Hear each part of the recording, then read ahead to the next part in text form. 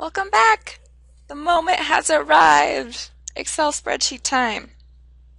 So we are going to build an Excel spreadsheet that will automate this process of the Euclidean algorithm and the extended Euclidean algorithm. I'm planning uh, some bonus opportunities for writing a program um, in whatever language you prefer that completes this process, all I'll ask is that you don't use the mod operator, okay, because that makes it kind of boring. So I want you to, to use other things, um, but I'll, I'll post more details about that soon, okay? So what we're going to do is look at the example that we are working on in the last video with 123 and 2347. And what we're going to do is go to our Excel uh, make an Excel file to complete this process. So I'm going to start blank, okay? Maybe.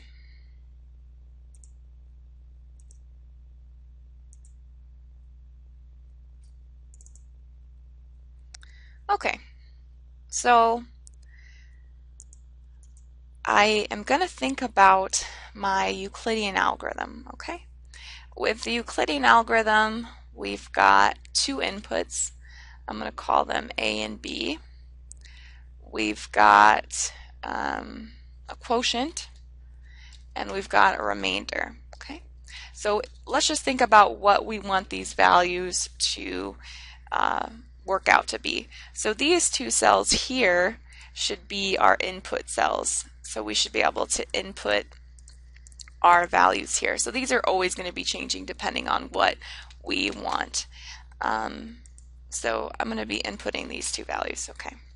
So notice if we go back to our work, we got a quotient of 19 and a remainder of 10. We want to take and divide um, these numbers, right, to get the quotient. However, we don't want 19.08. We want it to round down to the nearest integer. So what we're going to do, we're going to round int. So always down, right? Because we don't want to round up. If we round up, then we get uh, we might get the, the higher integer and we might go over our input. Then our remainder, and we could we could use a mod operator here, right? We could do mod, but that'd be boring. So I'm going to um, I'm going to take a and subtract b times our quotient. Okay, and there's my 10, okay? So it's nice to have a worked out example when you're trying to build this just to make sure that you're doing everything right, okay? Because I expect you to build this on your own. I'm not going to post the solutions, so make sure that you're following along here. Um, okay, so now that's one loop of our Euclidean algorithm. Now remember, our divisor becomes our dividend. And we, we can't just input 230 or 2347 because we want them to always be changing. So we want them to reference those cells. Okay. Now these calculations will stay the same, so I can drag and drop those. And just to verify that everything's looking okay, 12 and 3, that looks good. Okay. Now everything should be good to drag and drop this. So remember these columns are our remainders. So we've got the last non-zero remainder is 1. So from this spreadsheet I can see that my GCD is 1. Let's just try out one more example to make sure that we've got the right idea here. Okay, GCD of 1 there. Let's see, what other ones did we do here? Let's plug those in. Make sure that our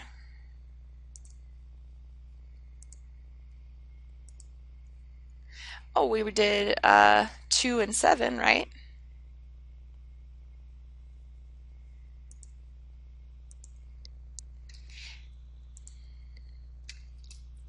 And notice that's okay, and this is an important kind of functionality thing, right? You don't want to force your user to input this in a certain order, right? So it'll just switch it on the next round, so that's okay. GCD of 1, that's good. Okay, let's go back to this example and let's build the extended Euclidean algorithm portion. All right, now I'm going to need some initial values here. So I'm going to insert two rows here. And what these are, this 1, 0, 0, 1, these are my coefficients for my linear combination, okay? So, oops, we actually need that there, I think. So this column, that's a coefficient for A. This column, coefficients for B. Okay, And they should always equal the sum. So this times this plus this times this should equal this. Okay. All right. So every time I build this, I have to think a little bit and what helps me understand what I'm doing here is um, this statement here. And this is an excerpt from your book, so um, you can read through and see if that makes more sense. You could also, you know, read through the proof, um, see if that makes any more sense. But um, so what we're going to do is just be taking in uh, consideration our quotients from each of those rows. So what we're going to do, so we're going to go 2 above, so 1 minus our quotient times our second input. Now, um, we're going to do the same thing over here, but we want to make sure to maintain that C column. So I'm going to put a um, dollar sign there to make sure that my quotient stays in um, column C. I want my E's to move to F, so it's going to be okay when I drag it to the right. So this does the same thing we take 2 above and subtract 1 above times my quotient. Okay. Now, just to kind of demonstrate what this is doing here, look what's happening. So, um, let's see, equals value,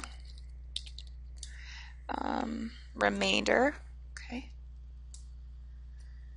is equal to equal to, oops,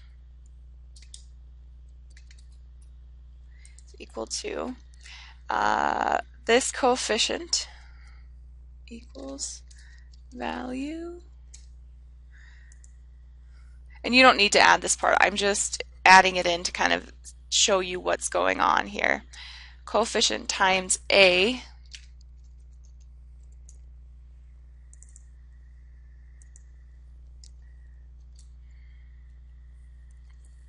plus this coefficient, oops, plus this coefficient.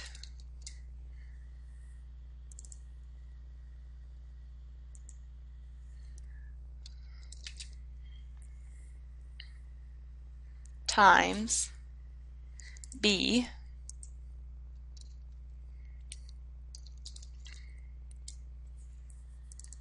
So this is just kind of writing it out for you so you can see times b. Okay, and then let's just check the arithmetic there instead of just writing it out there so we can see what's happening. Or we probably should just click a button like show calculations or something, but uh, well, is equal to coefficient times a plus coefficient times b. so we get 10, right? So this is calculating, uh, or it's, it's putting a linear combination in for each of those remainders and it's changing it at each step so that eventually our remainder will be 1. So it's taking this 10, substituting it in for 3, substituting it for 1, just like we did in our process, okay? So kind of makes sense, hopefully. So let's drag and drop, see what happens. Oh, that's looking good, right? Let's drag and drop these guys and see what happens. Uh-oh. Did I drag and drop wrong? Oh, I've got to keep those constant um, referenced, constantly referenced to get the one. Oh, yeah, because my it's always going to be A and B there for those values. Those. Uh, so again, this is kind of an aside, okay? So this is a little bit further than we need to take it, so don't worry. Um, there we go. And these guys, I'm just gonna make them always those input values.